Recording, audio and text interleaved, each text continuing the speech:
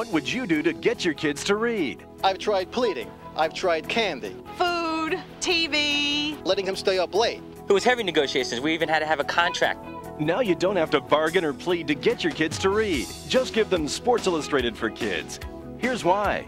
It's exciting, so they're excited to read it. Sports Illustrated for Kids is a fun magazine. He's always reading and always asking us questions. We have found Mark blooming with reading. Kids love everything from the puzzles and posters to the sports stars, mazes, and games. I like the trivia math questions because it helps me on my math skills.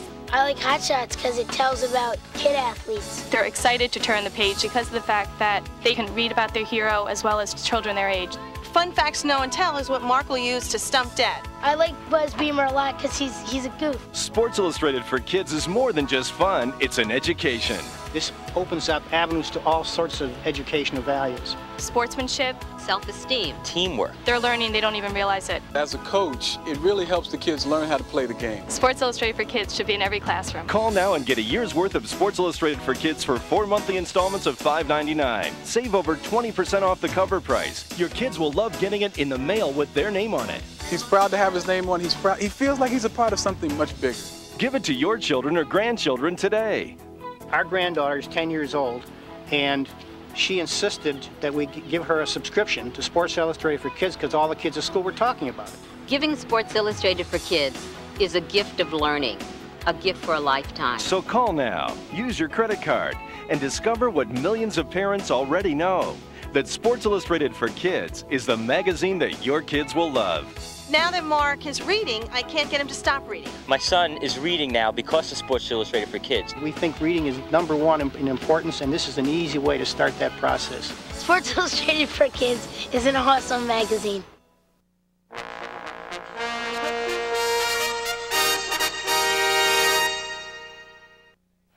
Scott Case has played a whale of a game today, putting the hits on. Out of the shotgun and four wide receivers again against the Cowboy nickel with Bates in the middle. Here's a pass in the flat, picked up by the Cowboys. Larry Brown may score at the 30. The Dallas Cowboys have won three Super Bowls in four years. Will 1996 bring yet another Vince Lombardi trophy? 29 other NFL teams are out to stop them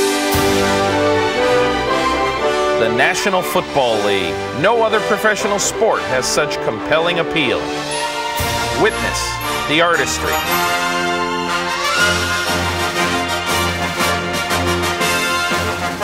The intensity. The spectacle. Marcus Allen dives over for the touchdown for Kansas City. His 100 career rushing touchdown. Move over, James Lofton. You've just been passed by Jerry Rice in the record book. And Dan Marino has the granddaddy of them all now. Most touchdown passes ever.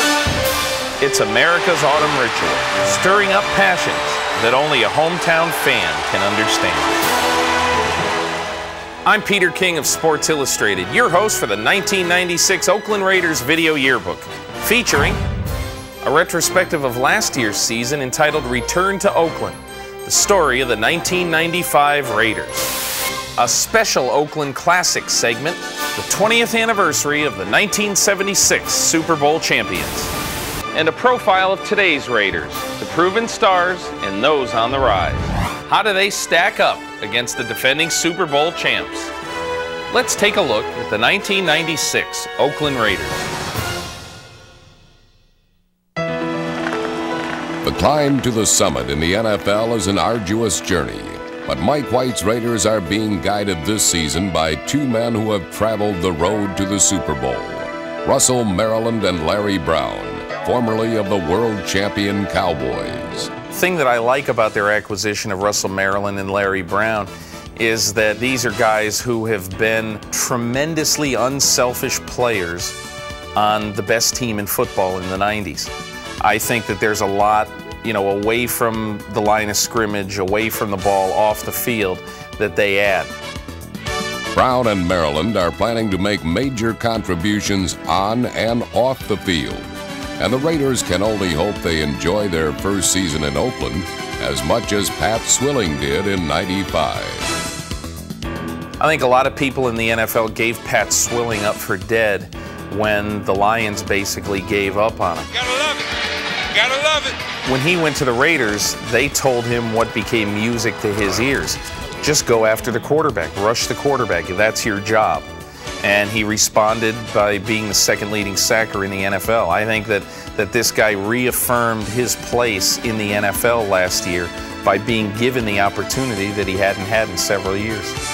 With Swilling rushing from the outside and Pro Bowl defensive tackle Chester McGlockton dominating the inside, the Raiders are sure to spend their share of time in opponents' backfields. Downfield, Terry McDaniel is ready for another Pro Bowl season. McDaniel is among the NFL's best cover men, and he has a knack for finding the end zone.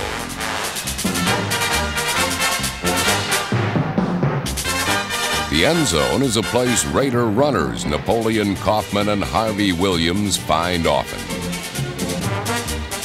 You know, the Raiders have kind of a weird running back duo because if you're talking about Napoleon Kaufman and Harvey Williams, what you're talking about are two guys who, you know, are not the big banger type Mark Van Eeghen type guys. I mean, the Raiders have always had, you know, the real kind of big backs. They don't really have that now, but it's been effective because I think of these guys' ability to run outside and ability to keep things fresh. I think both guys have shown a real skill in getting outside and and now when defenses are getting tired in the fourth quarter, they're still able to run outside because they've got basically a doubleheader. The Raiders hope their let's play two philosophy at tailback generates some home runs. But when the silver and black play long ball, they're usually referring to their passing game. One of the key things with the Raiders always has been is the development of a really good deep passing game. And you've seen it now with Tim Brown and Rocket Ismail and James Jett. I mean, the Raiders continue to develop guys, deep receiving cores that make it very, very hard for you to match up with a particular guy. If you want to match up, say, with Tim Brown, then you're going to be leaving other guys alone. Trying to match up with Tim Brown is a thankless and nearly impossible task for Raider opponents.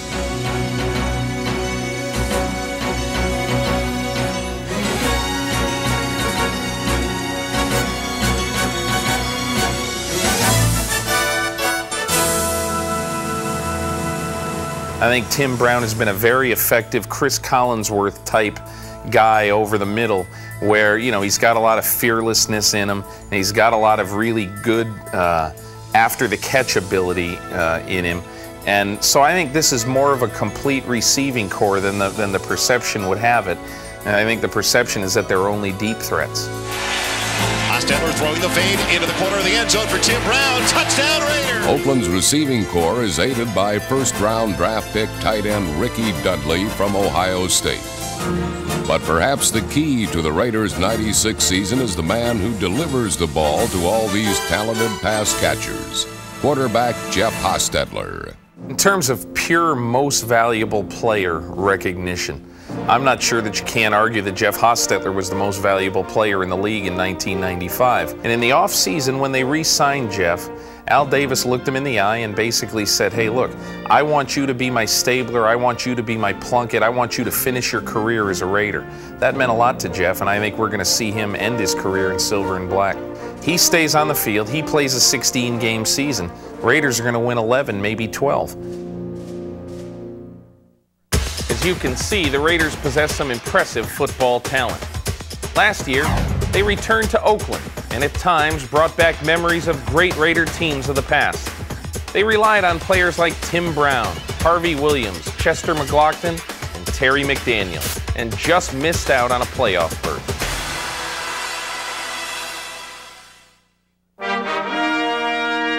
In 1995, the Raiders, professional sports winningest team, returned to Oakland, their home for three glorious decades. Been waiting 13 long years for them to come back, and they're back! We're back! Fans of all ages treasured this moment, for this was not an expansion team seeking a home. These were the mighty Raiders, whose tradition of greatness had continued in Los Angeles.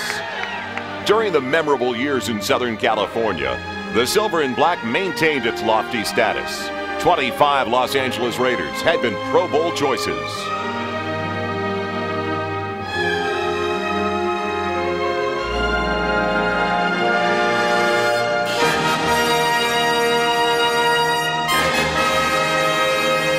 The 80s and 90s saw eight Raiders enshrined in the Hall of Fame.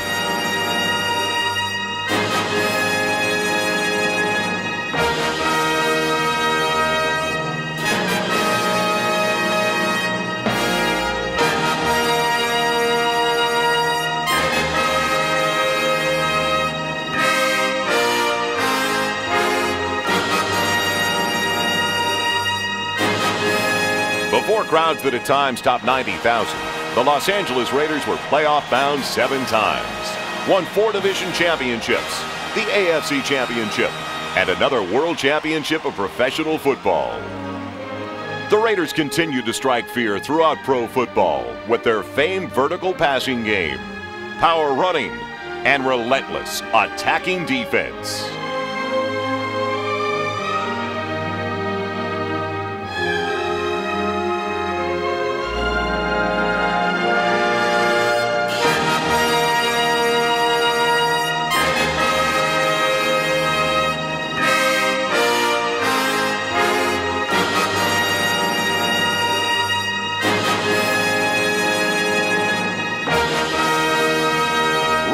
Raider of the greatest players, greatest coaches, greatest plays, and greatest games return to Oakland. But the true greatness of the Raider organization remains in its future.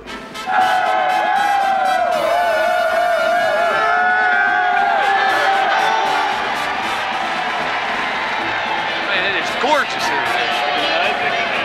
It's going to be a great day. Great day. Let's go get him now. Let's go get him. Let's go get him. The Raiders open the 95 season of the Oakland Coliseum against the defending AFC champion San Diego Chargers. Number 33, Eddie Anderson, got the season's first interception. Third and 13, Humphries back to throw. Here comes the pressure. Goes deep down the far side, looking for Jefferson, and it's picked off by Eddie Anderson. Quarterback Jeff Hostetler proved doubly dangerous to San Diego, picking up valuable yardage by land and through the air. Hostetler targeted running backs Harvey Williams, 22, and number 26 top draft choice Napoleon Kaufman for key gains. Then he teamed with wide receiver Tim Brown for the historic first touchdown back in Oakland. Firing in the end zone for Brown. Touchdown! And it is appropriate that the first score for the return of the Oakland Raiders goes to a heart and soul player like Tim Brown. The roar of the crowd inspired defenders bent on destruction. Pat Swilling, number 56, got his first Raider sack. And corner Terry McDaniel, 36, led swarming tacklers, stopping the pass. Then the run.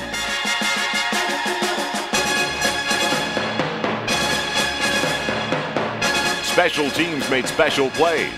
57 linebacker Rob Holmberg recovered a fumble. After a booming Jeff Gossett punt, number 39 Bruce Pickens, 55 James Folston, and 37 James Trapp down the ball on the one. And in the third quarter, rookie Cole Ford's long field goal opened a Raider lead. Out of the hold of Gossett, it's down, it's up, it's on its way, it's got the direction, does it, it's got the distance, and it's good.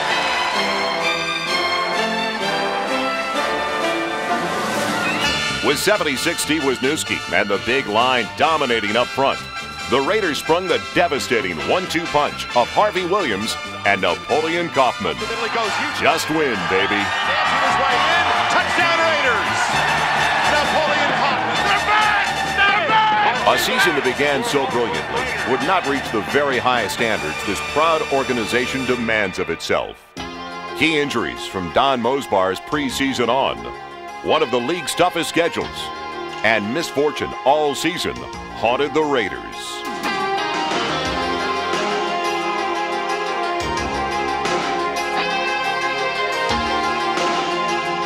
Crucial big plays were disallowed. Controversial calls changed momentum or decided games. as these Raiders missed their 19th playoff season by just one game. It was a frustrating season for astute first-year head coach Mike White, the able coaching staff, and the entire Raider organization. But lessons were learned, players developed, and much accomplished. Harvey Williams again demonstrated 1,000-yard capability.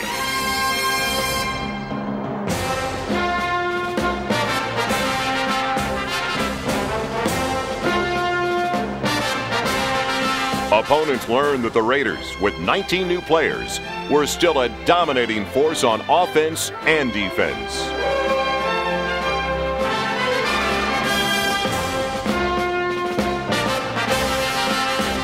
Opponents learned that great athletes still patrol the Oakland secondary, as they had in decades past.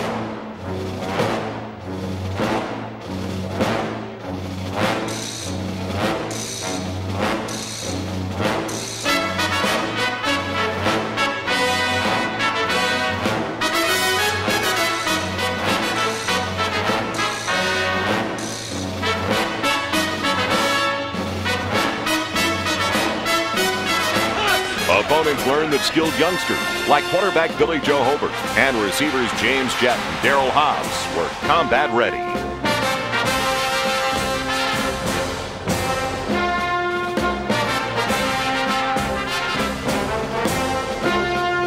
Opponents saw new veterans like Kerry Cash produce and Tim Brown carry on the Raider tradition of wide receivers who set the standard of excellence.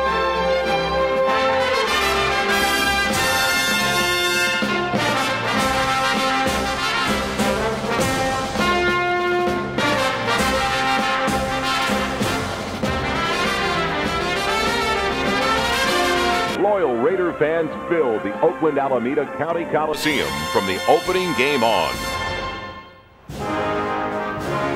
The season's first road game put the Raiders in Washington, D.C.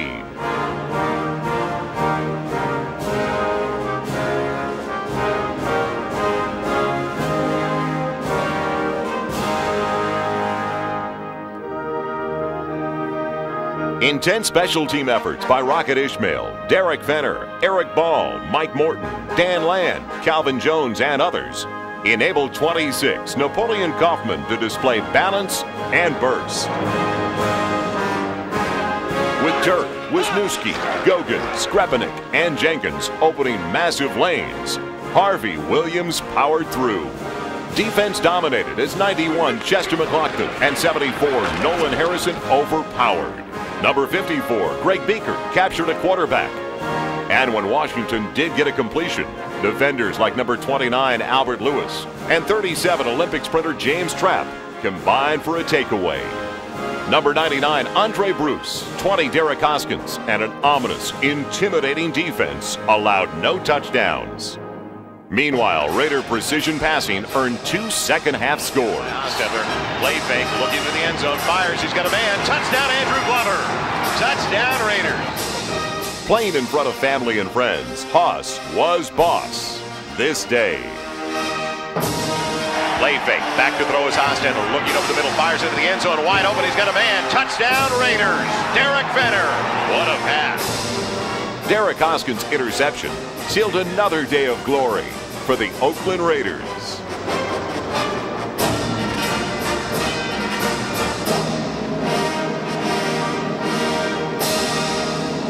Next for the Raiders, on the road against the Chiefs. Injury problems mounted as a broken arm sidelined starting offensive tackle Gerald Perry, but special teams created opportunities.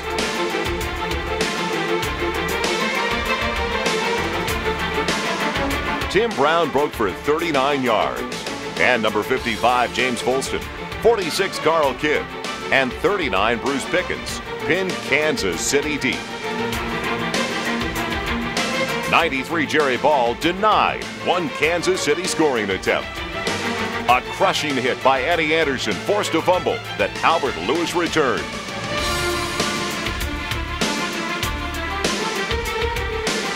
Lewis continued to vex his former team as he registered a sack.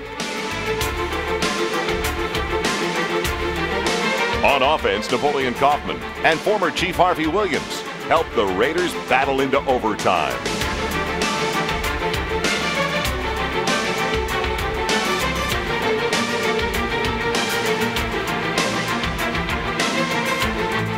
But as the Raiders drove toward victory, an official cut off Tim Brown's pattern, creating a game-ending interception.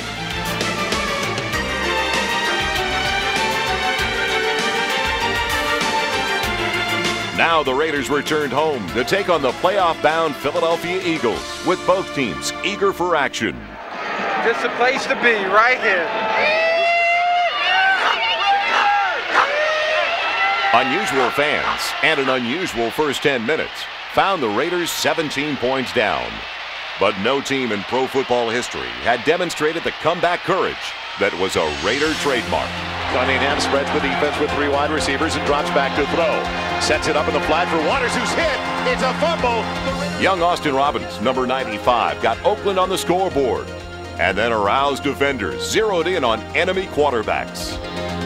Aundray Bruce grounded one Eagle, while number 94 Anthony Smith forced a fumble that McGlockton recovered.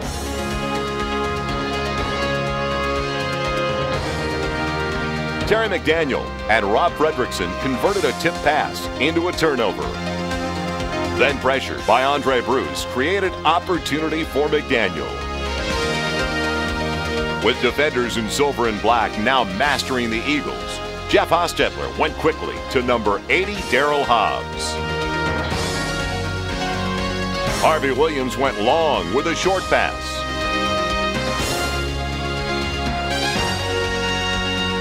Then Hostetler with time to search, pitched a strike to running back Derrick Fenner.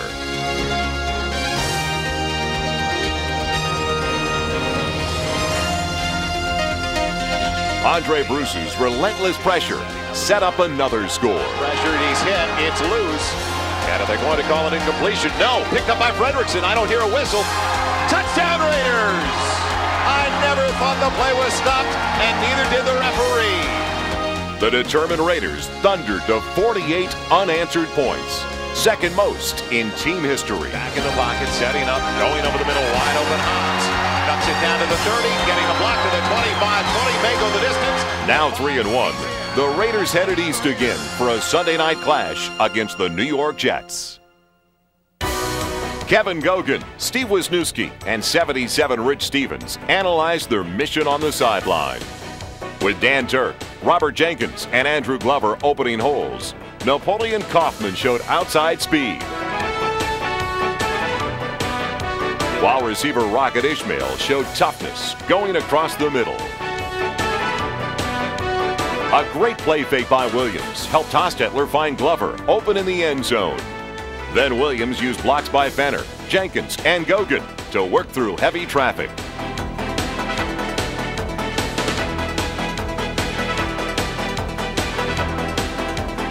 A national television audience saw Williams find pay dirt.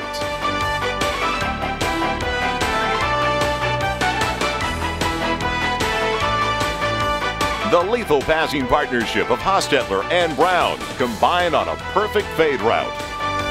Then later teamed again for another Raiders score. Side with Fenner joining the wide receivers. Hostetler fires downfield to Brown. Has completed the 50, breaks attack on the 40. There he goes down the sideline to the 30, to the 20. Will he make it to the 10? 5. Touchdown Raiders.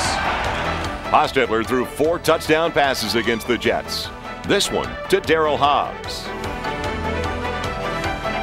Raider defenders dominated the evening's activities. Aaron Wallace, number 51, and Pat Swilling recorded sacks.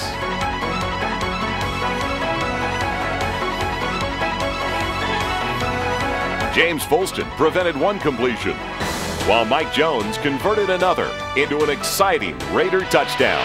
Throw size and Aaron Wallace hits it as he releases it, fires for Cravett. He lost it after he caught it, picked up by Mike Jones on the right side of the 50. Down to the 40, gets a block to the 35, 30, still on his feet. Coming down the middle of the 20, still gets a block to the 10, to the 5. He's in! Touchdown, Mike Jones. That former Missouri Tiger running back takes it in. Make a Schaefer, stand up for what you believe. Raider pride. One, two, three, Raider. Raider pride was evident against the visiting Seahawks, as was Raider speed with Rocket Ismail. Rockets return behind key blocks by 63 Barret Robbins and Andrew Glover, excited Coach White and helped ignite the Raiders. Hostetler, straight and deep, drop, sets up. He's got time, looking over the middle, guns it over the middle, complete to Tim Brown, right into the 35-40. Here he comes down the sideline to the 50, to the 40, makes a miss, to the 30. He should take the distance. He needs a block to the 10, to the 5. He's in. Touchdown Silver and black clad warriors like number 42 Eric Ball slashed and smashed. As did Aundray Bruce, Aaron Wallace, Robbins, Anderson, and others.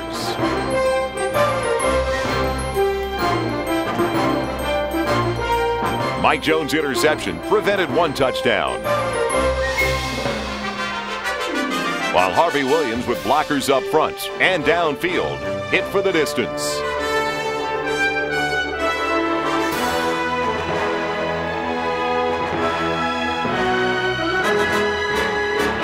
we go on the second and long. Sweep to Harvey Williams, cuts it back inside the 20.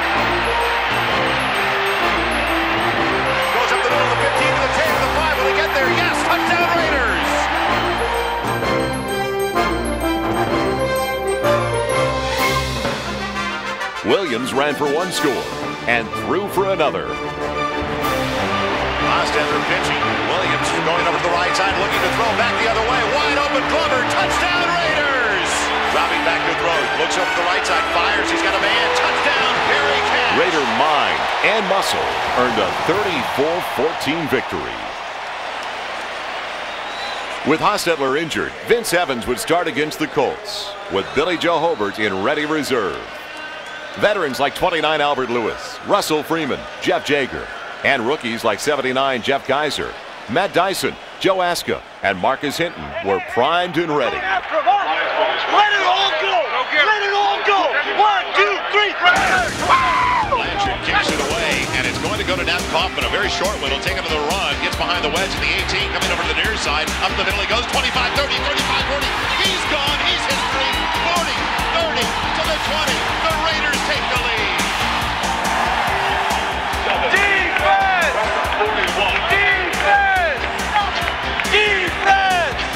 Pro Bowl choice Chester McGlockton, 91, and Aundray Bruce, 99, lassoed Colt runners, while McGlockton, Anthony Smith, and Jerry Ball corralled their quarterback. As Raiderettes and fans cheered, Evans triggered an aerial explosion against the playoff-bound Colts.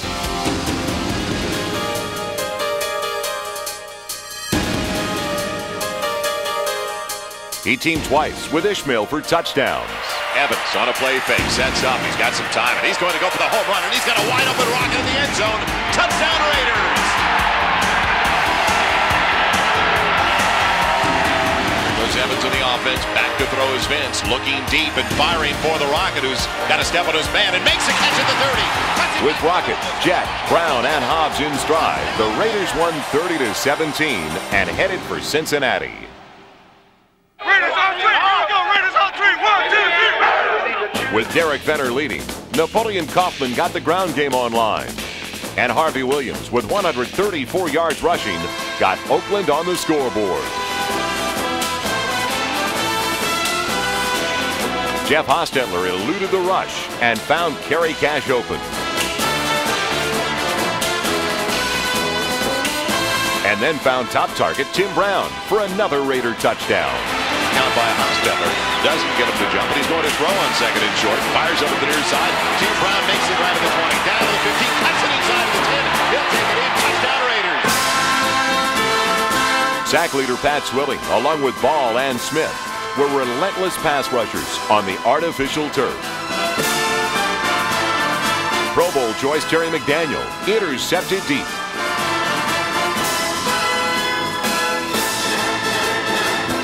Then got a crushing block from 53 Rob Fredrickson.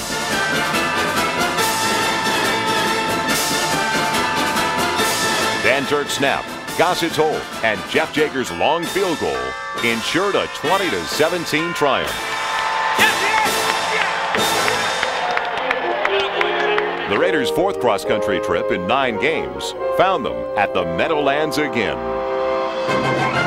Former Giant Jeff Hostetler teamed with Daryl Hobbs Shorts and then went deep for six.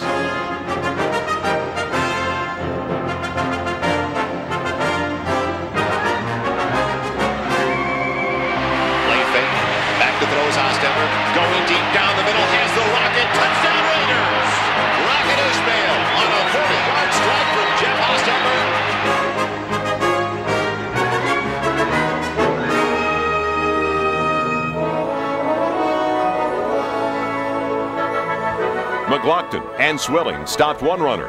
And number 31, Joe King, straightened another.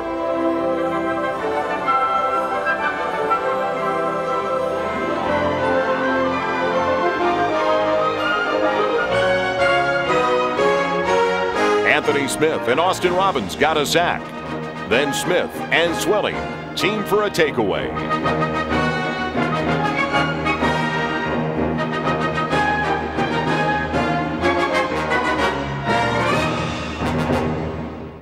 Skill and daring, Terry McDaniel upended one giant. And then came down with another interception.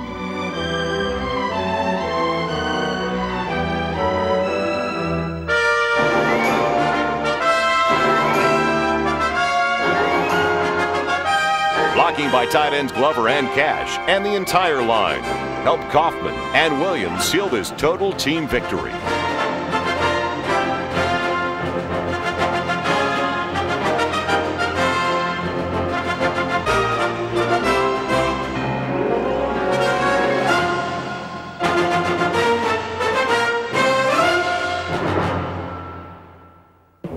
As the 95 season unfolded, major construction was underway at the Oakland Coliseum. When the Raiders take the field in 1996, the Coliseum will have been rebuilt. A state of the art facility, friendly for fans, but still with no place for opponents to hide.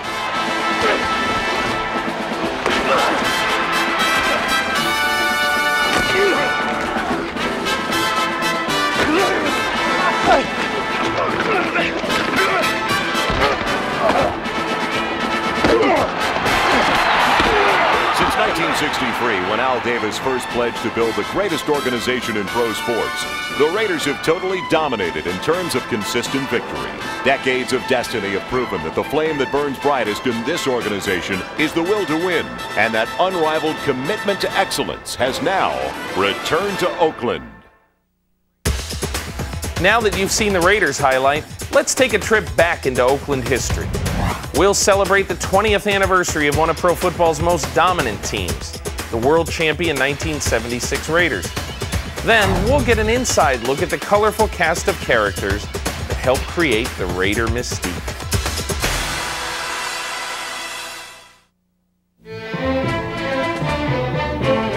One reason why the Oakland Raiders went all the way in 1976 was because they were able to overcome the Pittsburgh Steelers, the team that had haunted Oakland throughout the decade of the 1970s. Steelers were growing, and you could see them getting these number one draft picks, and they were all good guys. And when they emerged, they came on so fast that we thought it was our turn. It's no more Chiefs, no more Dolphins. It's the Raiders' turn. Who are these jerks over here in Pittsburgh going to take our thunder? So we got a little upset at these guys. The Raiders had reason to be upset. In the 1972 playoffs, they were victimized by the Immaculate Reception.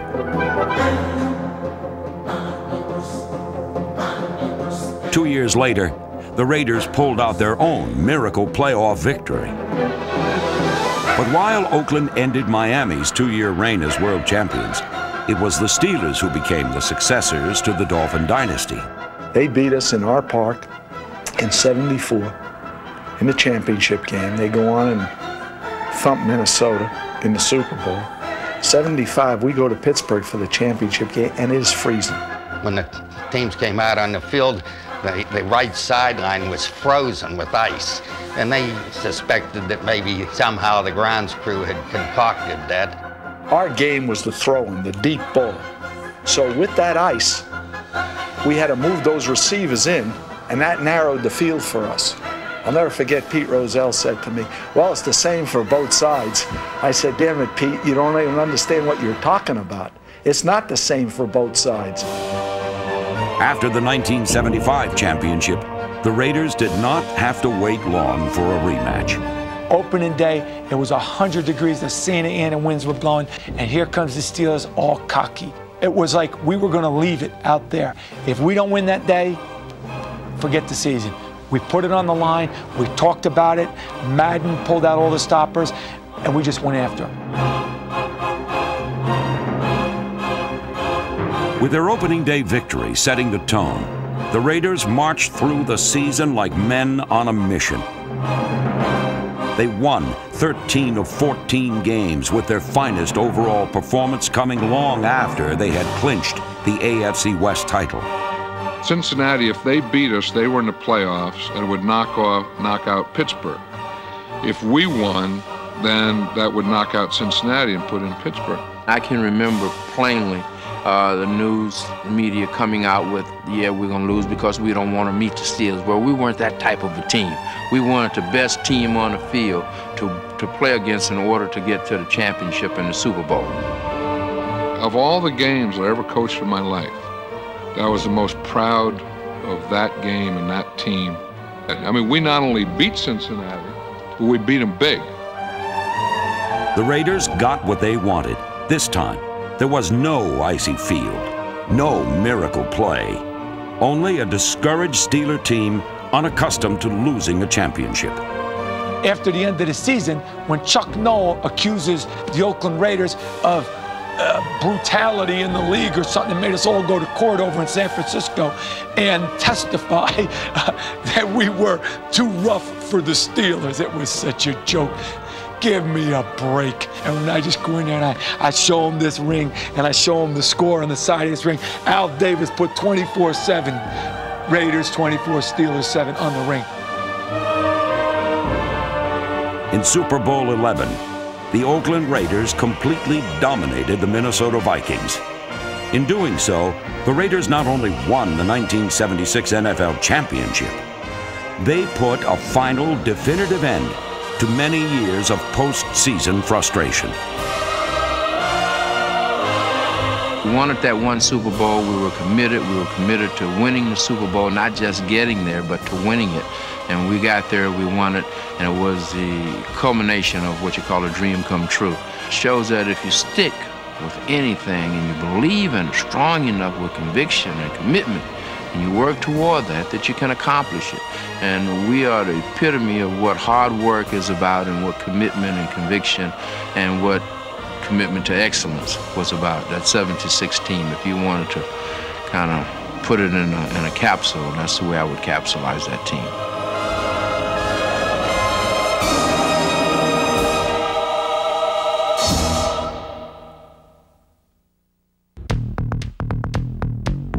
The 76 Raiders were a collection of outlaws from, uh, from all the major penitentiaries around the country. Some of them were real good athletes, some of them I didn't think were very good athletes. They were just intimidating types, would try and hurt people. From the opening bell to the closing bell, you're going to get hit. You're going to get hit hard, and you're going to get hit consistently. We wanted to leave them with an impression that, hey, it's not a contact sport. This is a collision sport, and that's what we did. We made collisions with wide receivers. If he did make a catch, he paid a big price for it. He was going to get hit. You know, he was going to get abused verbally, physically, any other thing we could do to take his mind off of what he had to do and just intimidate him a little bit. When you thought of the Raiders and the mystique of the Raiders, you knew going into the ball game that you were going to get hit. Now, the key was whether you was going to get hit fairly or whether it was going to be a cheap shot. It was just kind of a feeling that once you became a Raider, You were going to go out and you were going to destroy people. You were going to hit them. You were going to intimidate them. And uh, like we used to say in practice, first one cries a sissy. The many crybabies left in the wake of the Silver and Blacks bullying included the New England Patriots, who lost to the Raiders in the 1976 playoffs. But this game eventually resulted in one Patriot exacting a measure of revenge for a controversial play. It was a, a play where Phil Villapiano, outside linebacker, is covering me. I have to battle him off the line. He's hanging on my, my face mask, punching me in the throat. Typical Raider uh, defense and I make the break to the sideline, he's right there and grabs my hands and my arms to my side. Everybody in the country can see this. I turn to Ben Dreith, who's a line judge, and he's looking at clouds. Phil Fu Villapiano. I wanted to kill him. Just on that play alone, I wanted to kill him. So a couple of weeks later, he's in Hawaii to do the Superstar competition, and we go flying to take he and his wife to Maui. I had a charter service. Halfway between Oahu and Molokai, I tilt the plane up 90 degrees, I open the door and start to push him. And he thinks he's going out the door at uh, 10,000 feet. And his wife was clawing at me, and Phil was screaming at the top of his lungs. There was no way he was going to stay on that airplane. We'd do a couple rolls, loops, you know, whatever, and he'd be uh, fish food. Earlier that year, after New England had defeated the Raiders, Francis discovered that the Raiders' mystique flourished even when they weren't flushed with success. I went into their locker room after the game to kind of gloat a little bit, and I knew also they were the only team in the league that allowed cold beer in the locker room, or any beer for that matter. So someone finally directed me around to where Ted Hendricks was, and he's sitting in a stall in the bathroom. There's beer bottles, he's been there for a while, beer bottles sitting around the uh, stall. And uh, he turned around and took a $100 bill out of his wallet and threw it in the toilet. And I said, what are you doing throwing that $100 bill in the toilet? He said, well, uh, when I was standing up, brought my pants up, a $5 bill fell out of my front pocket into the toilet. I wasn't going in there for five bucks. That was the Raider mentality. That was what you were dealing with. That's what you're playing against. Those guys are weird. The weirdness was no mask and the team's bad boy image was shaped during a summer camp that seemed more like a funny farm, thanks to unofficial activities director Phil Villapiano, number 41. I thought the boys would like to have a little entertainment, so I found this lovely young lady down the, the bar the night before, and I paid her to show up at practice, and she streaked the practice field. And, and uh, man blows a whistle, time out go ahead, do what you got to do. Now get out of here, you know. Villapiano, with his antics, every year he would form these different events for us to keep camp from being so monotonous. He would break the monotony with these different games, and they were all about who could cheat the best. I remember in one hockey tournament that year, they uh, put a, uh, this is uh, air hockey, okay? The, um, they put a, a plastic uh, glass across one of the goals. So uh, none of the pucks from the opposing team could go in, and it and it was unnoticed till the final game that uh, why the team had got there to the to the playoffs. we had one rule with the Rays when we were playing golf, and that was if you wasn't cheating, you wasn't trying. It was a fun team to be around. We were about a family, teamwork, and we, we believed in that old saying, once a Raider, always a Raider. And we were, we were Raider players that uh, believed in one another, and we showed it on the field as well as off the field. The 1976 Raiders mystique was part fun, part ferocity. And this split personality helped them attain the singular identity of a champion.